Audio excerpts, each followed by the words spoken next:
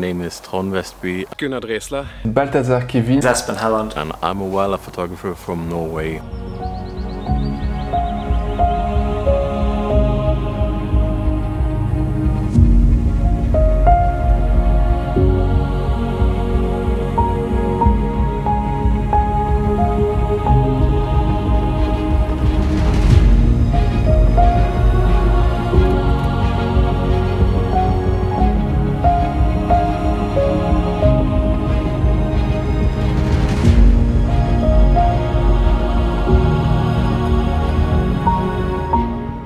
Name is Gunnar Dresler and I'm a wildlife filmmaker from Germany. I've been using the CamShield for most of the last year, but I think in the most important situation it was with the green woodpecker family. I tried to film and photograph these animals and while you film and photograph birds, camouflage is really important, if not most important. One thing with birds is also they fly, so you have to get onto their eye level or onto the level of the nest and gladly I could sit on a cliff in Kristiansand and get perfectly on the level to photograph that nest. If you're photographing a situation like this, animals rarely do what we want them to do or we rarely foresee what they want to do or what they're gonna do. Uh, so you have to try for at least a few days to get the photos or the movies that you want and I tried for at least four days. I wanted to have photos that are really decided by the background and how the light is playing in the background. I was mostly filming and photographing that scene in the evening because of the location itself. And I wanted the photos to be so that the background is really lighted up and I can change them as much as I want to. And I think I got two photos that worked really out.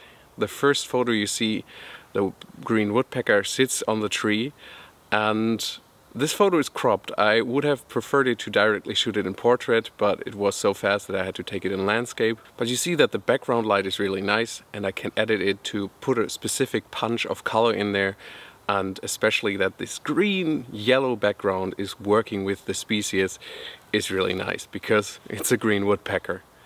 Then I have a second photo where I wanted to have the silhouette of the bird on the tree. And optimally, I would have liked to have the sun in the back of the bird so that you just completely see the silhouette as it's intended. But for that you have to move a lot and then you have to consider if moving is that well, you don't want to scare the animals. So sometimes you just have to live with what you get and you have to try over several days. The photo that resulted in my work is not exactly what I wanted, but you see the silhouette of the bird on the tree and I think it works out nicely at least. So it's it's definitely a rewarding photograph, but enough is never enough, right? But at last, what about the CamShield? I would say it perfectly fits the lens. The camouflage pattern is really good and uh, it gives you some more shock resistance and rain resistance. And for me as a filmer or a filmmaker, it's really important that you have access to manually focusing. And that works really well on this lens as well.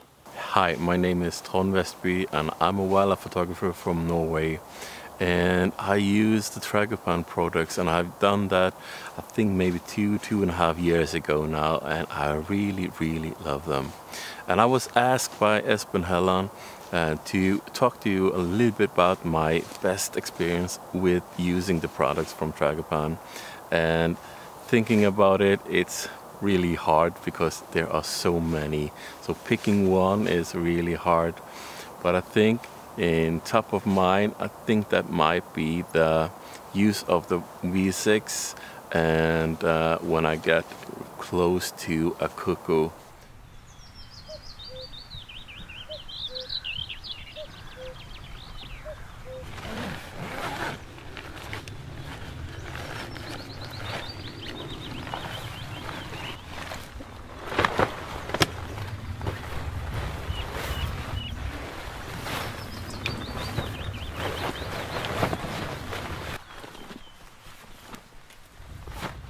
I really love that bird there and the cuckoo is really shy and really hard to come uh, close to.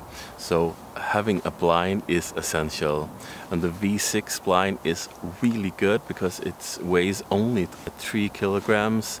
And so it's really to strap on on the backpack and therefore it's uh, I can like take it on a little bit longer hikes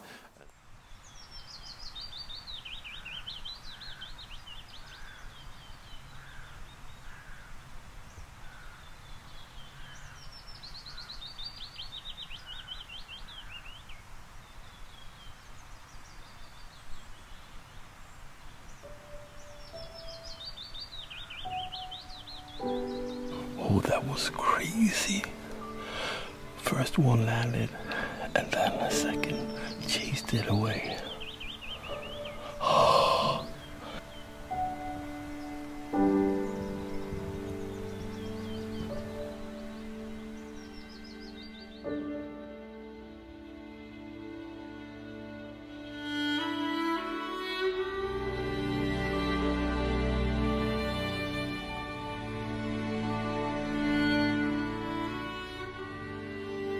So the V6 for me I use a lot uh, and uh, the, I think maybe the best uh, experience that I had with that blind air was the Coco. Bonjour à tous, moi c'est Balthazar Kevin, je suis photographe passionné en animalier basé en Belgique en région francophone. Pour la petite histoire, cette année je cherchais à photographier le renardeau dans un comportement des plus naturels possibles. J'avais prospecté dans ma région, mais malheureusement sans aucun succès. Donc avec l'aide d'un ami, nous avons cherché dans sa région à lui deux ou trois terriers, parce que c'était une zone où il y avait beaucoup plus de renards.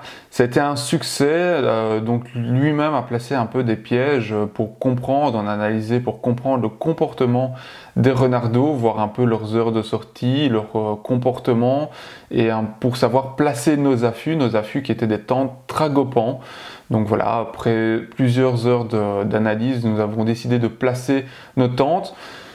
La première sortie a été un grand succès parce qu'à peine 20 minutes après avoir placé la tente, euh, les premiers renardeaux sont sortis. Malheureusement, sont sortis assez loin et cachés par la végétation. Mais voilà, il n'a pas fallu patienter très longtemps pour avoir les, premières euh, photos, les premières photos de renardeaux avec une certaine proximité parce que celui-ci est sorti très vite devant la tente, euh, devant ma tente, donc j'étais à peine à 4 mètres de lui. J'étais même très proche, hein. c'est une, erreur d'ailleurs euh, que, j'ai faite, mais par chance la tente était très bien camouflée, notamment par le fait que celles de Tragopan sont très bonnes, mais aussi par la végétation alentour, ce qui a permis à ne pas déranger le renardeau et simplement il a fait sa vie euh, autour de moi, devant moi, donc il a mangé, il a dormi, il a joué, Enfin, il a vraiment eu un comportement très naturel lors de cette rencontre. Cette rencontre a duré plus ou moins 35 minutes, ce qui est énorme en animalier. Et franchement, passer 35 minutes comme ça avec un renardeau devant qui euh, prête aucune attention à son environnement, c'était vraiment fantastique.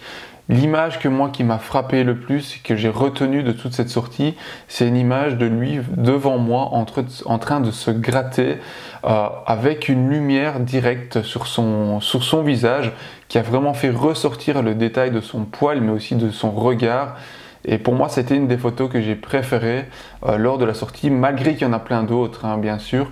Mais voilà, ça a été pour moi un, immense euh, privilège de pouvoir rencontrer ce, renardeau et de pouvoir le le matériel utilisé ce jour-là été une tente Tragopan Oki V3 de couleur automne ainsi qu'une Tragopan V6 aussi aux couleurs automne. Euh, franchement, c'est des, tentes que j'apprécie fortement, surtout la Oki pour avoir cette position allongée qui permet vraiment de détacher le sujet de l'avant-plan et de l'arrière-plan. Ce jour-là, j'ai shooté justement le Renardo avec un 300 mm 2.8 sur plein format, donc pour vous dire qu'il était très près. Ce que je retiens de cette expérience, c'est toujours bien veiller aux entrées et aux sorties des terriers pour éviter justement d'avoir une trop grande proximité et de faire un dérangement au niveau des petits et surtout des parents qui vont les déplacer. Donc honnêtement, c'est une expérience que je retiens, c'est quelque chose que je ne reproduirai plus lors de mes prochaines sorties au Renardo. Je tiens à remercier Tragopan pour cette vidéo, mais aussi pour le matériel de qualité qu'ils nous fournissent et qui me permet de sortir des clichés toujours plus incroyables euh, grâce à ce camouflage qui marche vraiment du tonnerre, que ce soit par les tentes à fût comme par les tenues. Donc voilà, encore un grand merci et moi je vous souhaite une agréable journée. My name is Aspen Halland and I'm a wildlife photographer based in Perthshire, Scotland. One of my highlights of 2021 was to finally use the floating hide from Tragopan. Which allows you to get into the water with the birds and actually move about while staying camouflaged. It took me a while to find the perfect undisturbed loch, but right away I could see that this is the one I wanted to work on. It had mute swans on it, it had various duck species, it had some coots, some moorhens, and best of all, a little grebe. So first off, I attached the ghillie blanket to the hide just to cover it up even better then I used the rope to tie the hide to the edge of the loch so the birds could get used to it. It was autumn and the temperature was dropping, so I got a dry suit and I wore plenty of layers underneath just so I could stay warm for the longest amount of time possible while I'm in the loch. I remember the first time getting into the water was quite weird. There was a lot of vegetation growing in this loch. You can't really be squeamish when you're drifting along in the water and something brushes up against your leg. The idea for the floating hide is that you walk slowly at the bottom of the loch so you can move about to find the birds that you're looking for. However, in practice, this can be quite difficult. Sometimes it was really shallow and I was lying with my body straight out behind me and just moving about on my toes. At other times, it got so deep that I had to paddle. I remember vividly my first encounter with a coot feeding in the water I just walked up slowly to this coot and it wasn't afraid. To me, this was mind blowing. Usually, I lie in a stationary hide and I hope that the bird's going to come close to my hide. But now I could move close to them. I could change my angle depending on what background I wanted, which angle I wanted the light to come from. This was a game changer. I slowly made my way to my target species, the little grebe, a fluffy little bird that dives under the water to feed on little animals. At one point, I was so close and it was moving about fairly quickly that I really struggled actually to keep him focused on the eye. I didn't want to move my lens and camera about too much because then I might spook it. So using the bird auto tracking, I could keep my camera lens still and I could let the system work for me and I could continuously focus and it would find the eye of the bird and keep it in focus. I took a lot of images on my couple of outings in the floating hide last year, but one of my favorite is a simple image of a little grebe at first light. It's got water droplets on its feathers from a recent dive that the green vegetation around the loch and the grebe is reflected in the water. I can't wait to go back in the floating hide in 2022.